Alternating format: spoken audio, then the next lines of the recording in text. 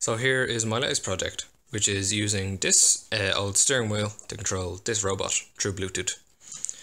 So this old robot I made about two years ago for a Robo Sumo competition. And if you don't know what that is, that is having two robots in a ring autonomously try and push the other one out while keeping in the ring themselves. There's a lot more uh, sensors on this, such like color sensors to sense the edges ring and all, but I took them off. The only sensor I kept was the ultrasonic sensor, but I'm not using it, I just like the look of it.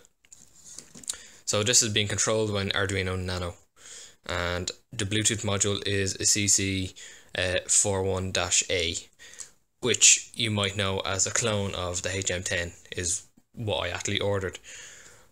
They do work, it does work, but it has limited functionality compared to the HM10, but it still works. So I'll show you the uh, circuit controlling our steering wheel.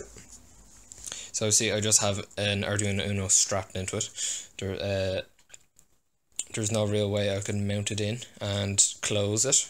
There wasn't enough room for this to be inside and put the bottom cover on. But anyway, it still works at the moment. so you see there's lots of wires here which aren't connected because there is a lot of switches here.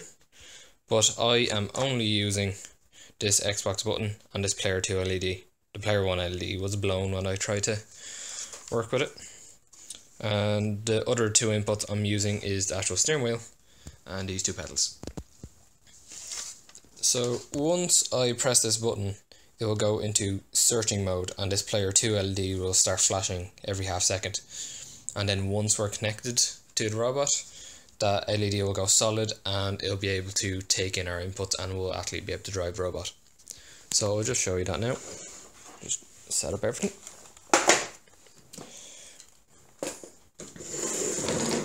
So I'm just going to switch on the robot.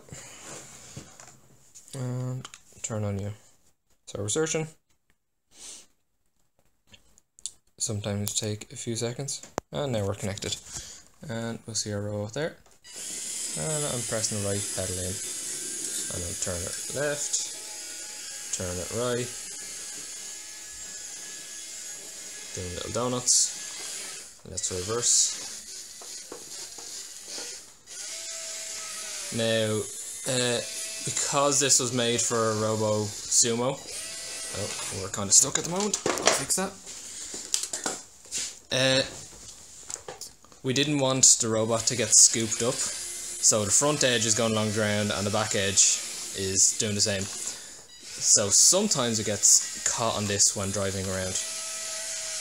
So if anyone else is building this, I'd suggest build one that isn't made for Robo Sumo fighting and maybe have more powerful motors or uh, supply more current to the motors as well. I'm using two 9 volt batteries. Oh, stuck again.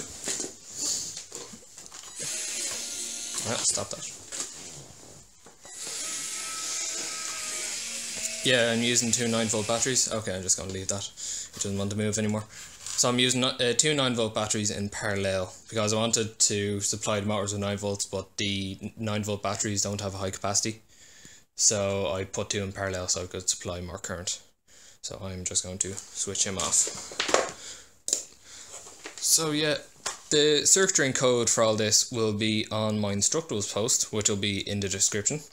And if you're interested in other projects I built, uh, just go on to my uh, blog, which is roborow.wordpress.com. Alright, thanks for watching.